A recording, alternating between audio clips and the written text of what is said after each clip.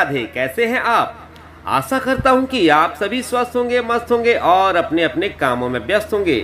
तो दोस्तों, चलते हैं आज की नई जानकारी की तरफ़। अमावस्या और पूर्णिमा, दो बहनों की कहानी। एक राज्य में एक राजा और एक रानी रहते थे, जिनकी चार संतानें थीं, दो लड़के और दो लड़की। एक लड़की का नाम पूर्णिमा तथा दूसरी लड़की का नाम अमावस्या था। पूर्णिमा घर के कामों में निपुण थी और घर का पूरा काम करती थी और भगवान की पूजा अर्चना भी किया करती थी। इसके अतिरिक्त वह गौ माता की भी सेवा करती थी और उसकी दूसरी बहन अमावस्या ना ही घर का कोई काम करती थी और ना ही भगवान की पूजा करती थी और ना ही गौ माता की सेवा करती थी। पूर्णिमा सर्वगुण संपन्न थी। फिर भी राजा और रानी अपने दोनों बेटों तथा पुत्री अमावस्या को ही प्यार किया करते थे और वह पूर्णिमा से प्यार नहीं करते थे, उसके साथ भेदभाव करते थे। राजा के चारों पुत्र और पुत्री धीरे धीरे बड़े हो रहे थे।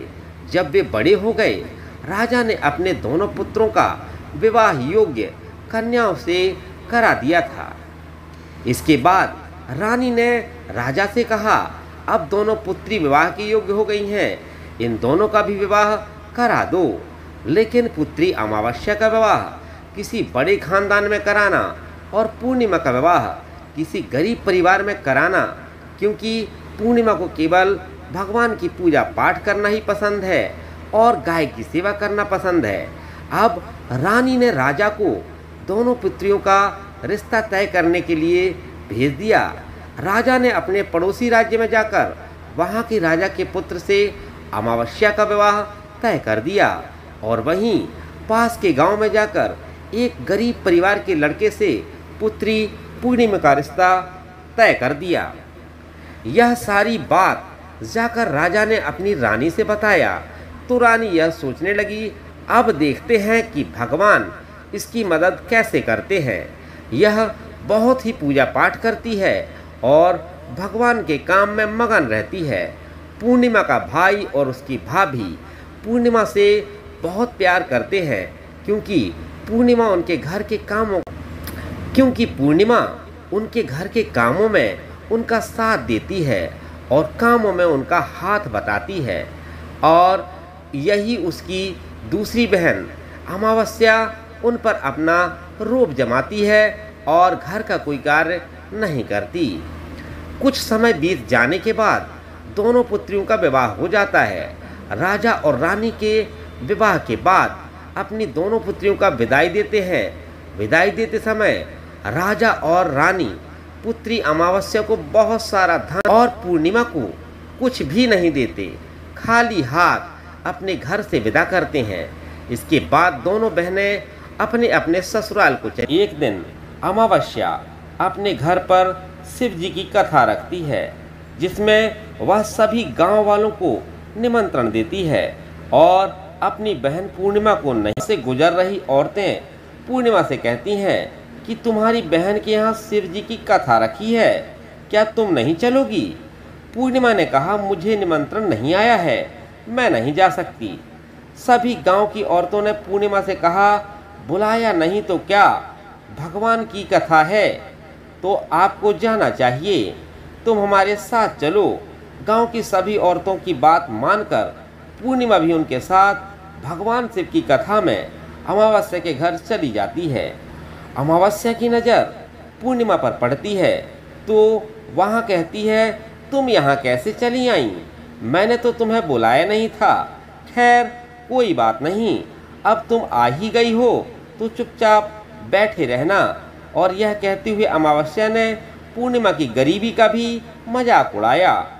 पूर्णिमा की आँखों में आँसू आ गए और रोते रोते मन ही मन पूर्णिमा भगवान शिव से विनती करती हैं, हे भगवान, क्या पूजा पाठ करना गलत है? गौ माता की सेवा करना गलत है? आखिर मेरी गलती क्या है? आप मुझ पर अपनी कृपा दृष्टि कब बनाएँगे? पूर्णिमा। बार बार भगवान शिव से यही कहती रहती है। इतने में शिव कथा पूरी हो जाती है और अमावस्या भगवान का प्रसाद बांटने लगती है। वह सभी लोगों को प्रसाद देती है, लेकिन पूर्णिमा को वहाँ प्रसाद नहीं देती। पूर्णिमा बिना प्रसाद के ही घर लौट जाती है और रास्ते में वह यह सोचते हुए चलती है कि यदि बच्चे उससे कथा का प्रसाद मांगेंगे तो वह उन्हें क्या जवाब देगी? उसने सोचा था कि वह अपने मायके, अपने भाई और भौजाई के यहाँ जाए। ऐसा सोचते हुए वह अपने घर वापस लौट आई और घर वापस लौटकर आने के बाद वह अपने पति और बच्चों से कहती है कि वह अपने मायके जा रही है। पति ने कहा, ठीक है। और कुछ समय बाद पूर्णिमा अपने मायके के लिए रवाना हो गई। चलते चलते रास्ते में एक चबूतरा आया, जिस पर तुलसी का पौधा लगा था। उस उस चबूतरे पर एक बूढ़ी अम्मा बैठी थी। वह कोई और नहीं, साक्षात तुलसी माँ थी। उस बूढ़ी माता ने पूर्णिमा से कहा, बिटिया, तुम कौन हो और कहाँ जा रही हो? पूर्णिमा अपना परिचय देती है। परिचय देने के बाद बूढ़ी औरत ने पूर्णिमा से कहा कि यहाँ तुलसी का पौधा सूख रहा है। इसमें थोड़ा सा पानी डाल दो और इस चबूतरे की साफ़ सफ़ाई कर दो, जिससे मुझे थोड़ी ठंडक मिलेगी। पूर्णिमा ने कहा, मैं तुलसी में पानी डाल देती हूँ और यहाँ की साफ़ सफ़ाई भी कर देती हूँ। पूर्णिमा ने साफ़ सफ़ाई के बाद बूढ़ी अम्मा को भी पैर दबाए और बूढ़ी अम्मा से कहा कि, माँ जी, और बताइए मैं आपकी क्या सेवा करूँ? और कोई काम है तो बता दीजिए, मैं कर दूँगी। अम्मा ने कहा, कुछ नहीं, अब तुम जाओ और वापस आते समय मुझसे मिलते हुए जाना। पूर्णिमा ने बूढ़ी अम्मा से कहा, ठीक है, माँ। बूढ़ी अम्मा से कहा, ठीक है, अम्मा जी, मैं जाती हूँ। वापस आते वक्त आपसे मिलती हो जाऊँगी। कुछ समय आगे चलने के बाद एक शिव मंदिर आया। वहाँ पर उसे एक बूढ़े बाबा मिले, जो मंदिर के बाहर बैठे हुए थे। वह कोई और नहीं, साक्षात भोलेनाथ थे। उन्होंने पूर्णिमा से कहा, कहाँ जा रही हो बेटी? तुम कौन हो? तब सफ़ाई कर दी। वहाँ पर पूजा पाठ, अर्चना भी की और साफ़ सफ़ाई, पूजा अर्चना करने के बाद उन्होंने बूढ़े बाबा को भी नहला दिया और उनसे कहा, बाबा और काम हो तो बताओ। तब बूढ़े बाबा ने कहा, नहीं बेटी, अब तुम जाओ और वापस आते वक्त मुझसे मिलते हुए जाना। पूर्णिमा ने कहा, ठीक है बाबा, मैं आगे चलते चलते कुछ दूर चलने के बाद पूर्णिमा को एक काली जी का मंदिर दिखा। वहाँ भी एक बूढ़ी अम्मा चबूतरे पर बैठी हुई थी। उस बूढ़ी औरत ने भी पूर्णिमा से कहा बेटी तुम कौन हो? कहाँ जा रही हो? तब पूर्णिमा ने उस बूढ़ी औरत को भी अपना परिचय दिया। बूढ़ी औरत ने पूर्णिमा से कहा कि यहाँ पर सभी पूजा पाठ करने के लिए आते हैं, लेकिन मंदिर की साफ़ सफ़ाई करने के लिए कोई नहीं आता। इसलिए तुम इस मंदिर की और चबूतरे की साफ़ सफ़ाई कर दो। पूर्णिमा ने कहा, ठीक है माता जी और पूर्णिमा मंदिर की और चबूतरे की साफ़ सफ़ाई कर देती है और पूजा पाठ भी करती है और माता जी का श्रृंगार कर देती है और उसी बूढ़ी अम्मा को भी नहला देती है और बूढ़ी अम्मा के पैर दबाती है और कहती है कि सभी काम हो गया है माँ जी और कोई काम हो तो बताइए। बूढ़ी अम्मा कहती है कि नहीं, बेटी अब तुम जाओ, लेकिन वापस आते वक्त मुझसे मिलते हुए जाना पूर्णिमा कहती है, ठीक है, और वह वहाँ से आगे चली जाती है। आगे चलते चलते एक नदी आती है, वहाँ पर भी एक बूढ़ी अम्मा बैठी रहती है, और वहाँ कहती है कि, बेटी, तुम कौन हो? अपना परिचय देती है। बूढ़ी औरत पूर्णिमा से कहती है कि, नदी पर स्नान करने तो यहाँ पर सब आते हैं, लेकिन यहाँ की साफ़ सफ़ाई करने कोई नहीं आता। इसलिए तुम इस किनारे पर साफ़ सफ़ाई कर दो पूर्णिमा कहती है, ठीक है माँ जी। और वहाँ की साफ़ सफ़ाई कर देती है और इस बूढ़ी अम्मा के पैर भी दबा देती है और कहती है, माँ जी, और कोई काम हो तो बताइए। बूढ़ी औरत ने कहती है कि, अब कुछ काम नहीं है बेटी, तुम जाओ, लेकिन वापस आते वक्त मुझसे मिलते हुए जाना और वहाँ नाव में बैठाकर नदी के दूसरे किनारे और वहाँ नाव में बैठकर नदी के दूसरे किनारे पहुँच जाती है और वहाँ अपने मायके के घर पहुँच जाती है। वहाँ पूर्णिमा के भाई और भाभी उसे देखकर बहुत खुश हो जाते हैं और वे पूर्णिमा की बहुत खातिरदारी करते हैं। और उससे बहुत सारी बातें करते हैं और कहते हैं, बच्चों को भी साथ लेकर आती।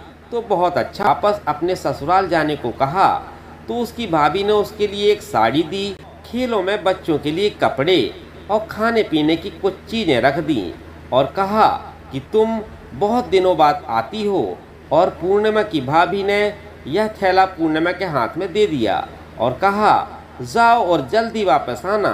इसके बाद पूर्णिमा वहाँ से अपने ससुराल के लिए रवाना। पूर्णिमा नदी के किनारे पहुँची और वहाँ नाव में बैठकर दूसरे किनारे पर उतर गई। वहाँ पर उतरने के बाद वहाँ पर उसे वही बूढ़ी अम्मा मिली, जो साक्षात गंगा मैया थी। उस बूढ़ी अम्मा ने पूर्णिमा को एक थैला दिया और कहा कि इसे तुम अपने घर जाकर ही खोलना। अब पूर्णिमा के पास दो थैले हो गए। उन्हें लेकर पूर्णिमा वहाँ से रवाना हुई। आगे कुछ दूर चलने पर काली माँ का मंदिर आया। वहाँ पर काली माँ बूढ़ी माँ के रूप में विराजमान थी। उसने कहा, आ गई बेटी पूर्णिमा? पूर्णिमा ने कहा हाँ माँ जी, आ गई। तो काली माँ ने उसे एक थैला दिया और कहा, तुम यह थैला अपने घर जाकर खोलना। अब पूर्णिमा के पास तीन थैले हो गए थे। तीनों थैले लेकर पूर्णिमा आगे बढ़ी। कुछ दूर जाने पर शिव जी का मंदिर आया, जहाँ बूढ़े बाबा के रूप में शिव जी स्वयं विराजमान थे। बूढ़े बाबा ने कहा, पूर्णिमा, तुम वापस आ गई? पूर्णिमा ने कहा हाँ बाबा, मैं वापस आ गई। बूढ़े बाबा ने भी पूर्णिमा को एक थैला दे दिया। पूर्णिमा ने कहा, ठीक है। बाबा अब पूर्णिमा के पास चार थैले हो गए। अब पूर्णिमा के पास चार थैले हो गए और थैलों में ज़्यादा वज़न था तो पूर्णिमा ने सोचा, साड़ी निकालकर थैलों को साड़ी में रखकर एक पोटली बनाकर अपने सर पर रख लिया और वहाँ से रवाना हो गई। कुछ दूर जाने के बाद उससे तुलसी माँ बूढ़ी औरत के रूप में मिलती है और कहती है, पूर्णिमा तुम आ गई? पूर्णिमा कहती है हाँ माँ जी, मैं आ गई। वह बूढ़ी औरत भी उसे एक थैला देती है और कहती है कि, यह थैला तू अपने घर जाकर ही खोलना। पूर्णिमा कहती है, ठीक है माँ जी, अब पूर्णिमा के पास पाँच थैले हो गए। पूर्णिमा वहाँ से रवाना हुई तो वापस अपने घर पहुँच गई। पूर्णिमा के बच्चे सबसे पहले अपने मायके के थैले को खोल कर देखने लगी। उसमें बच्चों के लिए अच्छे कपड़े, खाने की, पीने की चीज़ें। पूर्णिमा ने कपड़े अपने बच्चों को दे दिए और खाने पीने की चीज़ें भी बच्चों को दे दी। बच्चे यह सब पाकर बहुत खुश थे। अब पूर्णिमा ने दूसरा थैला खोला, जो उसे गंगा मैया ने दिया था। उसमें ढेर सारे हीरे जवाहरात, सोना चांदी आदि था। उसके बाद अब पूर्णिमा ने तीसरा थैला खोला, जो उसे काली माँ ने दिया था। उसमें बहुत सारा सोने का श्रृंगार, सामान भरा हुआ था। उसके बाद पूर्णिमा ने चौथा थैला खोला, जो उसे भगवान शिव ने दिया था। उसमें बहुत सारा धन, संपत्ति भरा हुआ था और बहुत सारी खुशियाँ भरी हुई थी। इसके बाद अब पूर्णिमा ने पांचवा थैला खोला, जो उसे तुलसी माँ ने दिया था। उसमें चावल, दाल और सात प्रकार की खाने की चीज़ें भरी हुई थी। अब पूर्णिमा के घर में किसी भी चीज़ की कमी नहीं थी। उसका घर धन धान्य से भरा हुआ था और परिपूर्ण था। अब पूर्णिमा और उसका परिवार सुखी जीवन व्यतीत करने लगा।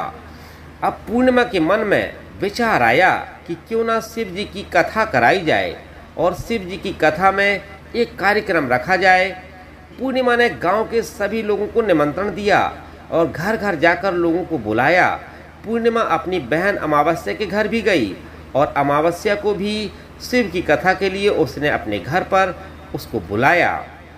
जब अमावस्या पूर्णिमा के घर शिव जी की कथा में आई तो उसने देखा पूर्णिमा के घर में किसी भी चीज़ की कोई कमी नहीं है। इतना सारा धन दौलत देखकर अमावस्या आश्चर्यचकित हो गई।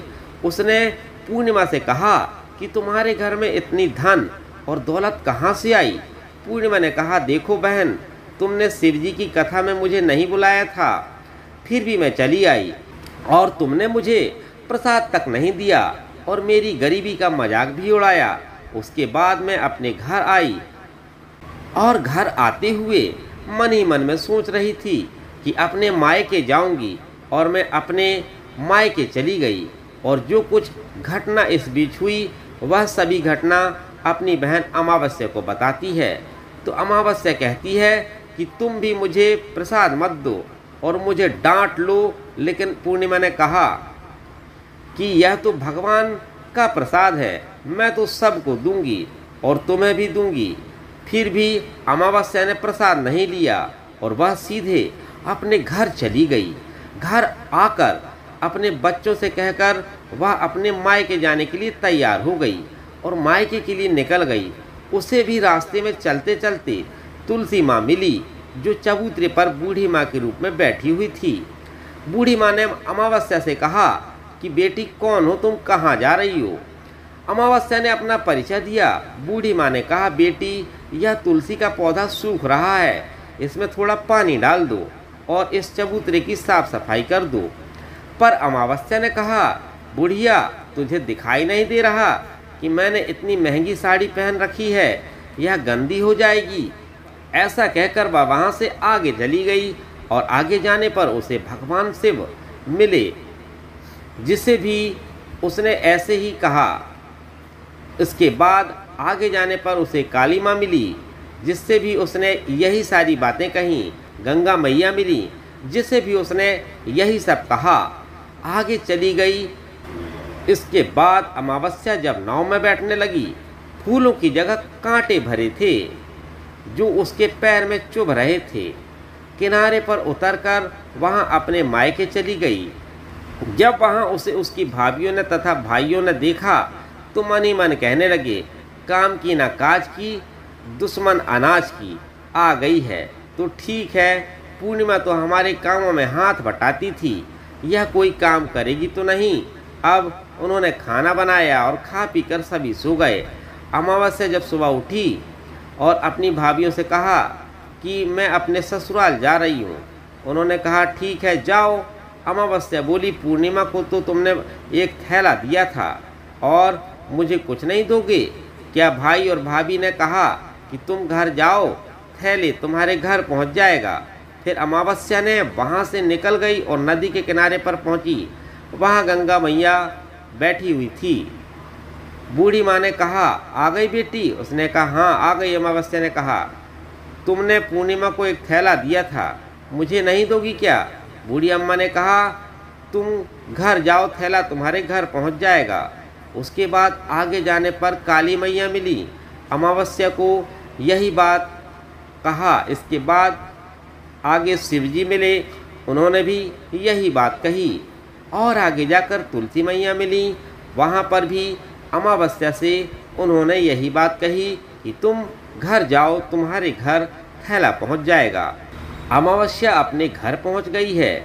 आँगन में देखा तो वहाँ पर पाँच थैले पड़े थे। अमावस्या ने मन मन सोचा, अब तो मेरे पास बहुत सारी धन और दौलत आ जाएगी। जल्दी जल्दी उसमें सभी थैले खोलना शुरू किए। किसी में मिट्टी थी, किसी में पत्थर, किसी में कंकर और किसी में कोयला। उसे मायके से भी कुछ नहीं मिला था। इन थैलों में कुछ भी नहीं था। अमावस्या दौड़ती हुई पूर्णिमा के घर गई और कहती है, तुम्हें तो इतना सारा सब कुछ मिला। मुझे कुछ नहीं मिला, आखिर क्यों? तो पूर्णिमा कहती है कि जब मैं मैं अपने मायके जाती हूँ तो अपने भाभीियों के साथ काम में हाथ बटाती हूँ, उनके साथ मिलकर काम करती हूँ।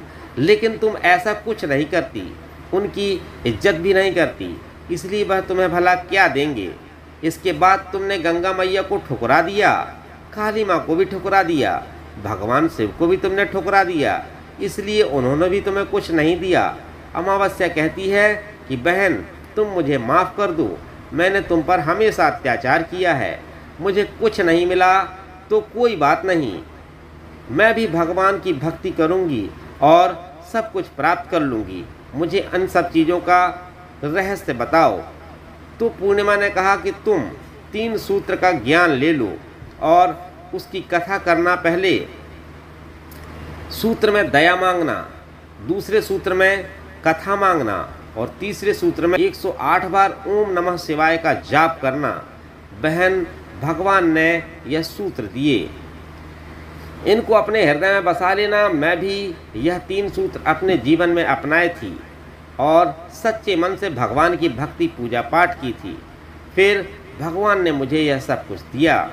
तुम्हारे पास जो कुछ था, वह भी सब खत्म हो गया।